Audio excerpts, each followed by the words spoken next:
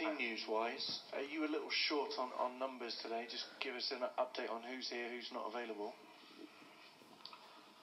It's pretty much the same as, as what we were at the weekend, apart from um, Mamadou Sakho's not here. He's uh, picked up a slight strain, which may have him out for a few weeks. Um, so apart from that, the squad is pretty much the same. Daniel Sturridge isn't quite available, and, and obviously the others that have been out are, are still out. So um, it doesn't leave us short. We're, we're working with what we've got. We, we always felt that after this next international break, we should have everyone back in the group. Will be back to its sort of full strength again. But, uh, but up until that point, we we've got some young players that have travelled with us as well. So uh, it'll be a good experience for them. The PR friendly answer is to probably say that you just take it a game at a time. But do you ever, ever allow yourself to, to dream about what it would be like to win this competition? No. Really? No, yeah, really, yeah. You never never once thought, can you imagine if I won the Champions League? No. No. Why? You must enter every competition wanting to win it. Busy. No, it, listen, it's a, it's a wonderful tournament, and we've all watched over the years, and and, and none more so than the, the Liverpool and Istanbul, which was an incredible evening. So, um, listen, for us, we domestically had a big job to do in the last couple of years, and we'll continue to focus on that. And obviously, our, our work in the last couple of years has brought us back into uh, into the Champions League, uh, which is, as I said, which is the the tournament for the leading clubs in, in European football. We're glad to be in it. We've got off to a good start in the group stage, and uh, as I said, we, we go into a game tomorrow night, which will be a very tough game. So, uh, so no, the, the focus is very much for us on the next game, and, and certainly as a coach, I can never get too carried away. And it's nice to dream, but I very much need to focus on the next game. And obviously, managers have, have, changed here. Playing personnel has changed here as well. But there is that constant theme that they can create an upset. Have you watched back any of those previous encounters with English teams to try and put your finger on what it was that, that your contemporaries in the Premier League found difficult over the last few years? No, listen, it's, it's a, a football club that I believe has what won eight out of the last 11 titles here. So they're very much a a team that is the, the force of, Swiss football. You know, you look at the young players that always come through the systems here in Switzerland, they're very much technically gifted and have done well over many years at youth level. So it's a country that produces very, very good players. Um, as I said, and, and this is a club that uh, they're used to winning.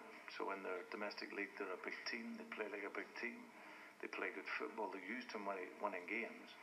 So when they come into this tournament, they have that confidence and that um, freedom then still to go and play. I watched them last year, and they were very unfortunate. You know, I went to a game in Germany, and they were very unfortunate not to then qualify through uh, into the next stages. But they got some excellent players, and obviously Paulo was a manager who I don't know very well, but I know through his stint in England, and and obviously when he managed at Swansea when I came in after him. So. Um, as I said, he's he's an excellent manager, and they've got some very very talented players. And the games, I think last season probably showcased the, the Chelsea game home and away when they won. So we know it's going to be a tough game. Good side, play 3 5 1 1, change to 4 2 3 1 at times. So as I said, the the, system will change, and uh, but they've got good players. FC Liverpool's um, start to the season wasn't necessarily that good. You've lost a few games. Maybe you, as the manager, can um, explain to us kind of what happened there. Yeah, well, we, of course we haven't made as as good a start as we would have wanted, but um, there's a number of of items as to why we, you know, we, we've integrated a lot of new players, young players that adapting to a new country and a new culture and a new pressure playing for, for such a big club. And of course we've we've had injuries to, to very important players, players that have been core to our development over the last 18 months.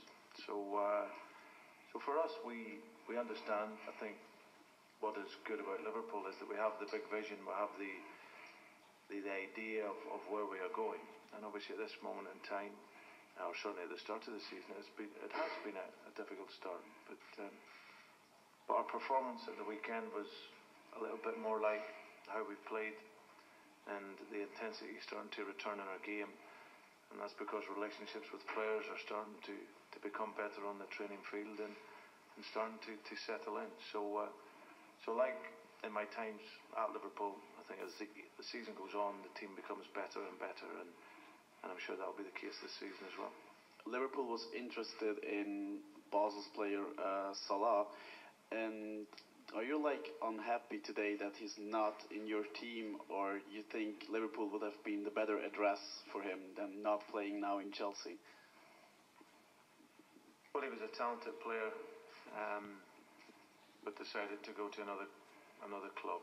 So um, there's nothing really much more for me to say on it. He done very well here, a young player. He made his choice to go to to Chelsea, and and at the time I, I wish him good luck. You have your own uh, memories from Swiss football playing against young boys in Bern. For Swiss football, 12 years ago, these two draws between uh, Liverpool and Basel, they were legendary nights for Swiss football. Do you have memories of, of these games, or were they present now in, in the preparation of that game?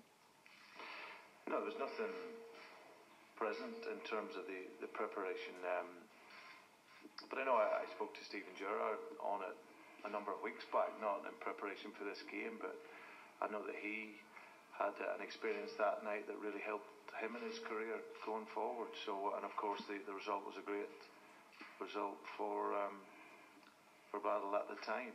Um, I think our game in the Europa League was a fantastic game. It was, for me, it was good not just because we won. We we integrated a number of our younger players, and for us, that's a part of the the education of our young talents playing in pressure situations and and playing in, in European football. And for that, we came through it very, very well. But it was a tough game, and, and like the home game was was a tough game also. So so we expect a very difficult game uh, tomorrow night. The crowd is always enthusiastic, create a good atmosphere. The pitch will be nice, and as I said, but we're, we're really looking forward to it, and uh, and we know that Basel will be a, a big opponent for us in this in this group. You said Mamadou Sakho was injured. Can you tell me when he got injured and what was your reaction to him walking out of Anfield at the weekend? Reaction, of course, it, it's not something that we expect from, from many of our players, and but we've we've spoken. He, he, he knows fully the the situation. He's apologised, and, and we move on from it. Um, and his his injury has come uh, in a training session, so um, it's unfortunate. Really, he's just felt. Uh, pain in, um, in his thighs. Obviously, when he's had the scan on it, and it shows that uh, he's got a sort of slight tear in there, which will be probably two to three weeks, maybe. Does Sakho's reaction on Saturday suggest that maybe all is not happy within the camp if, if he's he's doing that when say other squad members would hang around and watch the game? No, not at all. This is a. I think any of the players will tell you it's it's a group that is very much basic success over a couple of years on on our team and the behaviours within the team. And of course, you know, we can understand if a player's not happy, and, um, but it's very important that what we've achieved is down to the team. So I think it's anything but that. I think it's uh, a team that is, is obviously working hard to consistently win games. And I think we're seeing this sort of early stages of, of all the players integrating uh, and coming together. So, but uh, it will take a wee bit of time. But the it's never something that affects the, the team. The team is very happy in terms of the relations with each other and with everyone, and, and we just aim to continue just simply to work harder and, and gaining the positive results. Basel is kind of considered as an outsider in this group, and you've already played against Ludogorets. How would you evaluate the two teams in this group? Probably tell you after I play them.